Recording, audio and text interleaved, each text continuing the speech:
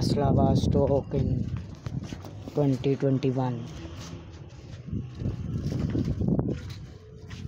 New stock for Faisalabad Jatt kites आप देख सकते हैं। हवा बहुत तेज़ है, मगर इतनी है, मगर चल, आज शाम को उड़ाएँगे, यही गुड्डे।